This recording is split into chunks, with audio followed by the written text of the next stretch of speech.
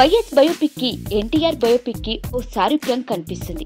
ఎన్టీఆర్లో Balakrishna character ఉండకుండా ఉండదు. ఆ క్యారెక్టర్ ఎవరు ధరించారు అన్నది పాయింట్. ఇక యాత్ర సినిమాలో వైఎస్ తనయుడిగా జగన్ పాత్ర ఉంటుందా ఉండదా ఒకవేళ ఉంటే ఎవరు ఆ పాత్రలో కనిపిస్తారు అన్నదే తెలియాల్సి ఉంది. యాత్ర సినిమా క్లైమాక్స్లో వైఎస్ జీవిత చరమాంకం కూడా ఉంటుంది.